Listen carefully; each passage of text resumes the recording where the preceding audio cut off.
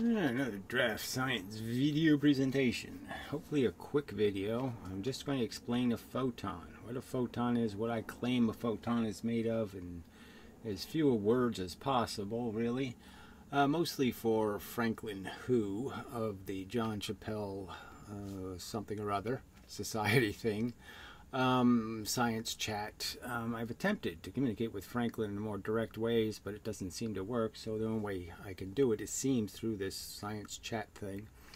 Uh, anyway, he um, responded to a video from like a year, two years ago, uh, now, which is bizarre. Um, so, um, and um, you know, paraphrased my theory, and I think rather poorly paraphrased it, frankly. And so I'd like the opportunity to at least make clarification. Um, so to anybody who wishes to actually know what I actually say versus what he misparaphrased me to say. So anyway, um, all right, so we'll just get to it. Um, this should have added value in the sense I am doing subject videos, and uh, I suppose this is a good place to start. Uh, traditional photon is some kind of wavy thing in two different wavy fields. I say, nah, nonsense. Absolutely nothing to wave. It doesn't make any sense. Sorry, no sale. Um, I'm basically saying the universe is made out of two things, plus two things, uh, plus two things. Um, two kinds of force, two kinds of matter, two kinds of interactions. Charge is two kinds of matter, protons and electrons, the two kinds of force, electron reflective force and proton reflective force. And the two kinds of interactions are uh, kind of straightforward reflection uh, and uh, the incidence of a, uh, perpendicular reflection. Something comes in, it leaves perpendicular. So 2 plus 2 plus 2 physics. All right, that's the basics. So the argument is, is the universe is only made of these two things, force moving the speed of light, so that would include gravity, magnetism, electricity, all this stuff moving the speed of light is in a class, and all this stuff matter. The protons and the electrons are moved by the force. They don't go anywhere until a force is moving them. And the force has to constantly move them. There's no um, momentum uh, without force interactions uh, for matter. So there's tons and tons of the force stuff. It's little tiny stuff. Da, da, da, da, da, da. Say a million of these per every one electron and every one proton. Okay, so protons are like big air bubbles. The rest of the universe is little indestructible BBs that never stop moving. They just bounce. Okay, they can push an electron for a proton for a while, then they bounce off. And so that's the interaction part. So it only moves while the force is connected to it. Um, so magnetism is the force when it's been filtered by a magnet. The force comes in in two colors, red and blue. It comes out, so it comes in purple, okay? However you want to describe purple, and it comes out blue, electron force, and red proton force. All right, so uh, gravity is just the stuff in chaos, purple, and um, light is the specific incidence of this force stuff at a specific frequency. So bullets, all right? Light is not, a photon is not this. A photon is a composite object. It is made of parts. It needs to have length. It has to have more than one. Clearly, you can't have a frequency without having more than one. Um, so a photon is made, it's a composite. It is not like a neutron, it's not just something in and of itself. It's something, okay, defined by a circumstance. And the circumstance is the frequency. The other circumstance is its polarization. So, and this is true for all electromagnetic radiation, all everything in the spectrum at a frequency. So any quanta at a frequency is a type of electromagnetic radiation, is what it's called, I'm arguing it has nothing to do with electromagnetic. It just has to do with the fact that you have momentum at a frequency. Little bits of stuff going the speed of light that when it hits an electron, it will cause it to move or cause it to stop moving if it's already moving. All right, and that's all it is. So it's force and matter. The force can come at a frequency, we call that a photon. The force comes mixed, you know, out of frequency, out of arrangement, we call that gravity. And if I segregate it for electron force and proton force, I have a magnet charge. All right. So how it's done is the pretty simple argument. A radio antenna the length of the antenna is essentially necessary to, to um, when you're sending in your pulse, you're sending in a pulse of electricity, a pulse of electricity, a pulse of electricity. The electricity is going into the antenna, and what it's doing is it has to travel, that pulse travels up the antenna, and as it travels up the antenna, it releases, okay, photons, little quanta, little bits, okay, little bits are released. And it's released just by moving the electron actually, but it doesn't. We don't. You don't need to know that part. What's jiggling. The point is, is the one that leaves here is there, and the next one leaves here, and the next one leaves here, and the next one leaves here.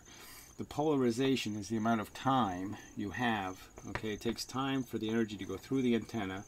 So if you have 250 megahertz, if you cut that down into a length, you can find out how much length that is. And you could say it's five meters or something. That's how long your antenna can be If you have that long an antenna, you can use all of that antenna. Any longer won't do any good, okay? but that length of antenna will be able to keep producing this sequence, okay? And that will be the antenna polarization. Okay, the antenna is essentially dictating the polarization of the energy. Now, I could send this much and you'd still get the frequency, but you're getting, you know, less than the maximum amount. The ray length will be a little bit shorter of the the um, photon, um, what, what, will be called the photon.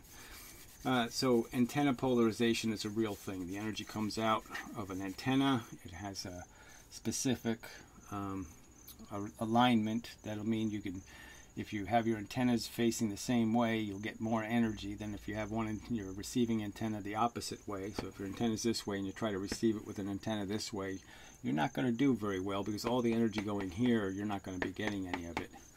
All right, so all you got is the circular energy that's coming off of this spiral here, you know, and that's all you're going to get. Where you maximize how much energy you get if you're facing the antenna. Same is true for how this light thing works, except the, the uh, antenna is an atom. So the atoms, a row of atoms. So if you have a row of atoms and the electricity is traveling through them, you send a pulse of electricity, the atoms fire, and that's going to be your photon. And the photon will end up being the first one fired, and the next one fired, and the next one fired, and the next one fired. They're all fired in a sequence dictated by the time it takes electricity to travel through the atoms. So the distance, the frequency, is now going to be proportional to the uh, polarization. So in essence, the photon can be understood as being shaped something like an envelope. It's very thin, okay, in the fact that these are little tiny specks. The little tiny specks are in a space. Okay, so one's here, one's here, one's here, one's here. You know, they're they're sequenced across the envelope.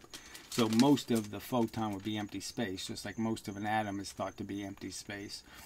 But the point is the container that holds the photon, the frequency is proportional to the polarization. That is, if this is your polarization, your frequency would be like this. Okay, so the two are the same thing because they're both dependent on the speed of light. Uh, essentially, the electricity is a little slower than the speed of light, but it's essentially the speed of light that dictates the sequence. So a photon traveling through space, whether it's um, radio wave, whether it's a light wave, whatever kind of wave you want to call it, is not actually a wave. It's a bits, okay, that are moving parallel, little force bit, okay?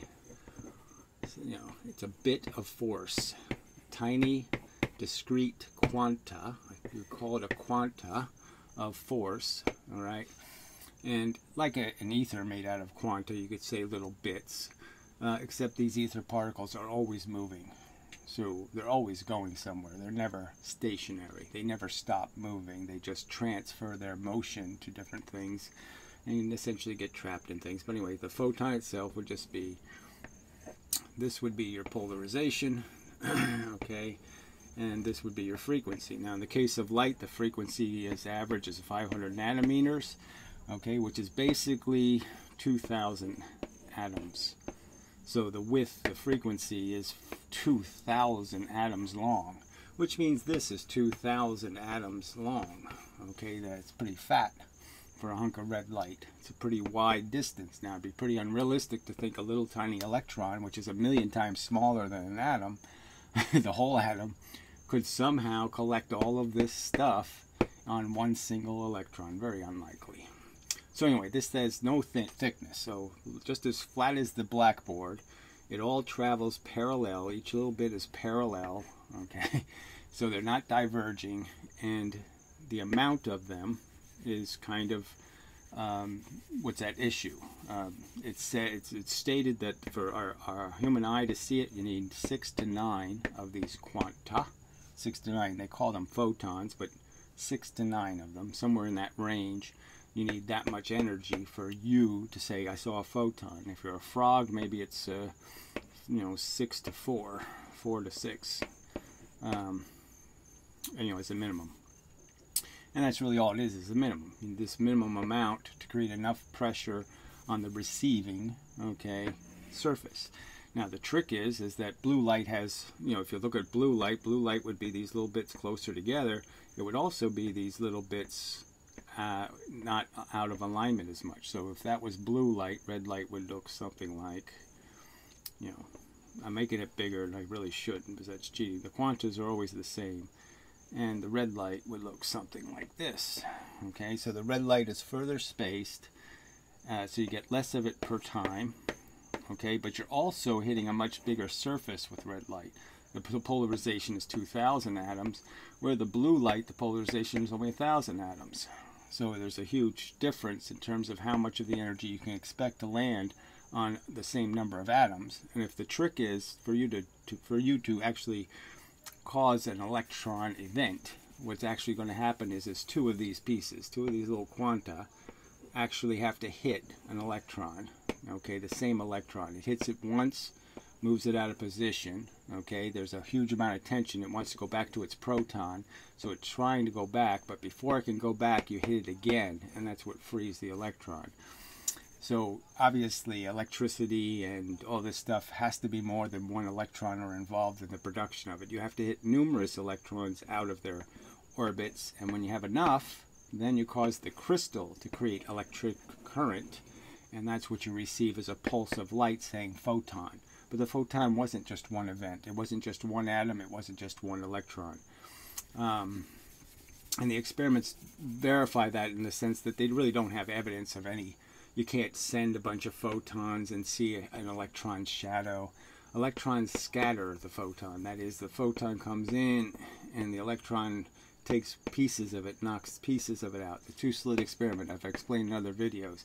Pieces of the photon are broken off, so you won't be able to see them as photons, but they're pieces this clump gets through, but this one doesn't. This one gets scattered this way. These two get scattered this way. They get scattered to different places, and the places where you reconstruct the photon, that is, you put the back in phase, back in the proper frequency, those are the ones you see, and the ones that are out of frequency, the pieces, you don't see. Okay, and it's that simple. Um, so it's uh, completely consistent. Antennas and you know radio is the same thing. It's all just about electricity comes in, stimulates atoms, produces little bits of energy, and then when the frequency stops, there's no pulse, there's no energy, so that means there's a bunch of stuff, okay, in space, and then there's nothing, and then there's a bunch of stuff in space, and then there's nothing, and then there's a bunch of stuff in space, and then there's nothing. And that's the radio signal. Now, Franklin Hu brought up in this thing something about how he can send a square wave as a carrier. I use the word carrier because the carrier frequency in all of our radio applications are clearly there's a carrier frequency and then there's the frequency on top of the carrier. Um, so if I was to send photons, actual energy, to a radio receiver with no music on it, no signal on it, just the frequency, you couldn't use an oscilloscope. You can see a square wave. I can't send a square wave with the carrier signal. I can put a, a square wave on the carrier. That is, I can force the carrier to create the shape okay, of a square wave. But the carrier signal, the main signal, the main megahertz signal that it's at or hertz or whatever, I can never make that into a square wave. All the um, oscilloscope ever receives is an on, and because it's tracing, it just makes a sine wave out of the the signal. The sine wave isn't something the that actually exists until the signal hits the material starts to create electricity and then can have varying amounts of electricity. But again, still, even it's just a pulse. It's a pulse of electricity. It's a little bunch of electricity, then nothing, then a pulse of electricity, then nothing, and the oscilloscope's just rounding off the corners. So there's no wave. In the images on oscilloscope are deceptive. That's just the simplest thing to say. The trace doesn't. It's like a heart monitor. It traces. Okay, it's tracing. There isn't any signal here. Okay, it's drawing one here, but there isn't one here, and there actually isn't anything here. There's on, and then there's an off, and then there's an on, and there's no, you know, there's a positive ions, negative ions. The heart's creating positive ions, negative ions, positive ions, negative ions. There is no gradually on, gradually off. Uh, let's see what else. So the antenna idea works. Uh, radios, big antenna. Um, the antenna that creates a photon is 2,000 atoms on average in height. Okay, microwave, three centimeters. It all fits. The polarization is consistent with the size of the antenna. That is, how fast can the energy get from point A to point B and the fact is, is that once you've gone past the antenna length, you're not going to gain anything because this any signal that gets there is going to get there too late. This pulse has already ended by the time it gets to this antenna, and that would be meaningless. So this is the only usable antenna. Is you know for microwaves, it's three centimeters. Make it longer, it's not going to do you any good. Uh, radio, everything the same idea. Add extra atoms here, and it's not going to do you any good if you're trying to create infrared radiation this is all the space you can use. You can't use any more. You can always use less though. So if I send the frequency even faster, then I cut the, you know, I just cut the, the, the pulse rate is faster, so the frequency is closer, and then the end of the signal, where the signal's restarting again, starts before you have, you know, uh, zeroed anything. So you can't, you can't use the extra space, even if you have it. Uh, so the photon can be in any polarization in the sense that how it's created in the different crystals on whatever material is creating it. It just has to do with the alignment of the atoms and it's always kind of a randomized material. So you can create polarized light if you use the right material. You can create light that you know all comes out one way because there's a geometry in the material you're creating it by. Um, and how the electricity is applied to it could make a difference. um, yeah, so the it's a it's force okay it's the speed of force not the speed of light. All the forces move the same speed it's all made out of the same stuff. Um, so all there is is little tiny bits in the universe moving around all the time all around us all the time. There's all these little tiny bits moving the speed of light constantly going places and you can make waves out of particles. That is you can you can incidentally line up your soldiers so they're all lined up and they all leave a certain location at the right time and they all march in a certain order.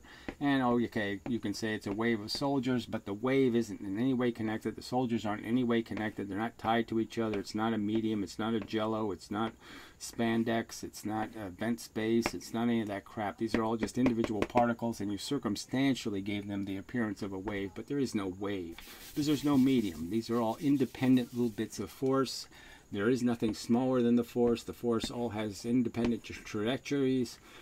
Um, I explain all this, how it affects gravity, how it creates uh, magnetism. These are all videos I've made, so I'm not going to go into those details. But all there is is the force, and the matter bits are like balloons. They're, they don't have any will of their own. They're just pushed by the wind. So whatever way the force is blowing is the way the balloon will go. So if there's more force coming one way, that's which way the balloon goes until you apply another force to stop it, it's going to keep going that way. And when you apply another force to stop it, then it stops, and then you can push it another way. And that's all the protons and electrons are is balloons, and they have a property of charge, which again, uh, save for other videos. But that's all the universe is made out of. The photon is just force at a frequency. There's no waves. There's just bullets. You can fire a gun. Bang, bang, bang, bang, bang, bang, bang, bang. You can fire a gun that way. The bullets will look like it's a wave of bullets, but there's no wave. okay. Till the next time and such, uh, could have fired them bang, bang, bang, bang. Doesn't matter. That's the polarization. Which way the gun is moving when I'm firing them. They're all moving parallel. They're very thin, okay, but they have a wide polarization. That's a photon. That's my counter explanation for the phenomenon, how particles perfectly satisfy the experimental results. Okay. enough of a video.